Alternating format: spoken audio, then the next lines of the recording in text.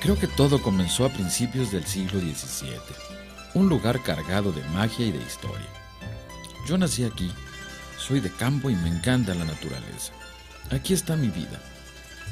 He visto pasar muchos acontecimientos y grandes personalidades.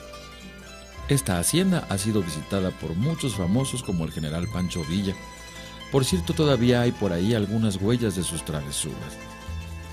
Más recientemente, los reyes de España, el presidente de Estados Unidos y artistas famosos como Elton John y muchos otros.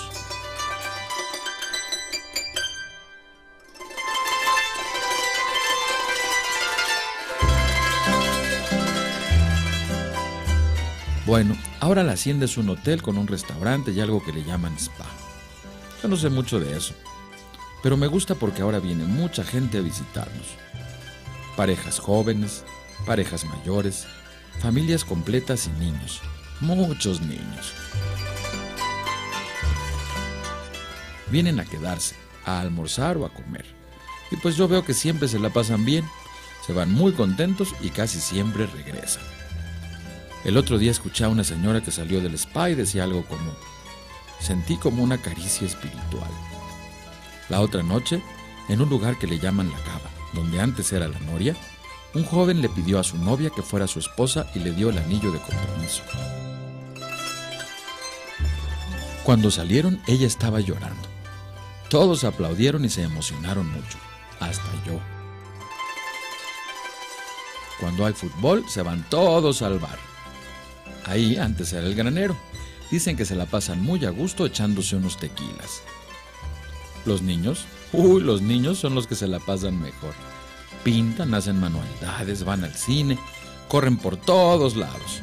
Ah, pero eso sí, lo que más les gusta es el show de los caballos. Que por cierto, es el que más me gusta a mí, porque lo preparamos con muchas ganas para complacer a todos. La comida creo que es de lo mejor. El otro día unos señores estaban diciendo, está espectacular.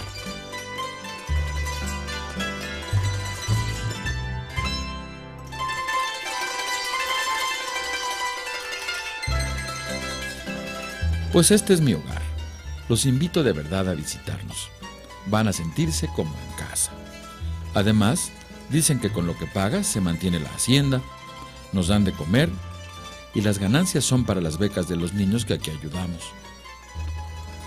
Cuando quieras sentirte apapachado, escápate a Hacienda San Cristóbal y no te olvides de saludarme. Si no estoy trabajando, seguro me encuentras en las caballerizas. Siempre te estaré esperando. Soy tu amigo, el caminante.